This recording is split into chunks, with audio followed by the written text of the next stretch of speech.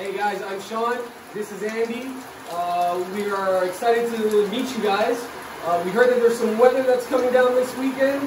Um, being from Miami, we can tell you this is nothing we cannot handle. Um, this is actually part of your welcome packet. So please come on by, introduce yourselves, and we look forward.